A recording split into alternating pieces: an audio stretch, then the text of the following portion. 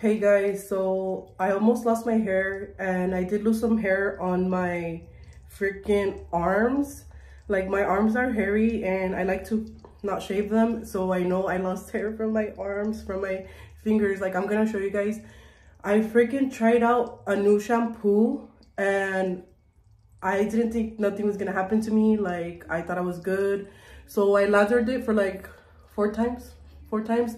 And I was lathering it like this. When I got home, I was showering and I freaking lost my freaking hair from that finger, the this finger. And I'm gonna show you guys after like what the, how are they selling this? And I freaking got scared. Like I literally washed it off so fast when I found out about the Reddit reviews that people's hair was like melting off and stuff like that. But that's just them. But this is just my freaking experience that I'm talking about. Like I'm literally kind of traumatized at this point. So after I got done showering, I started coughing and my eye was watery and it just felt like when you get like soap in your eyes and that's how I felt in the shower after I was showering with it and I'm like oh maybe I did get soap in my eye and so I was washing it off, but I still felt the same way after I showered. And so then I got to my room, I was about to put on my clothes and I started coughing. And you know what, I'm like, you know what, this is an allergic reaction. So I got some Benadryl, I took it ASAP. Like I already know what an allergic reaction from a product feels like. So yeah, I got an allergic reaction.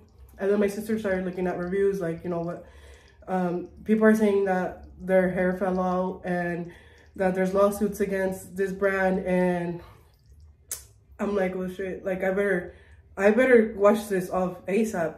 So I washed it off. I put some bar soap on it. Like I, I was waiting for my sister to go get some Garnier because that's what we usually use. So yeah, I ended up washing it all off. But when I was freaking showering it off, like I noticed on my fingers, like my hair literally came off like it knocked down my hair from my arms and literally we went to target earlier so i know what my hairs look like because sometimes i look at them like don't ask me why sometimes i look at my arms hair arm hairs or whatever and i'm like oh okay i like them hairy who cares so i'm gonna show you guys how much hair it knocked down like from from my freaking from my fingers like what the heck this is crazy i could only imagine what would happen if i left it on my hair like as soon as i knew about the reviews and all that i'm like hell no, I'm fucking washing this shit off. Like, I'm there. I'm washing this shit off. But yeah, like, it's crazy. I'm literally so freaking, like, nervous to even show you guys because how is this even, like, selling right now? Like, how are you guys selling it like that if, you know, it's, like, people's hair are falling off? So that's how hairy this freaking finger was. And look at this. It knocked down all of my freaking hairs right here. And my other freaking arm, the same thing. Look at that.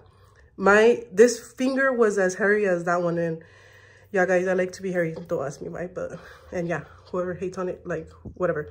Anyways, but that's how I know that it did freaking knock out my hair. Like, what the, what the hell? Like, that's crazy. And I am going to tell you guys the brand because you guys need to be careful with the, almost lost my hair, like, so this is the brand of shampoo that I use, guys. The Monday Moisture Hyaluronic Acid for Dry Hair and Dull Hair Shampoo. And this is crazy because it has five stars on TikTok and it has good reviews. So I didn't really expect it like to happen like this. Like this is crazy. So just be careful when you use this shampoo if you guys are going to buy it.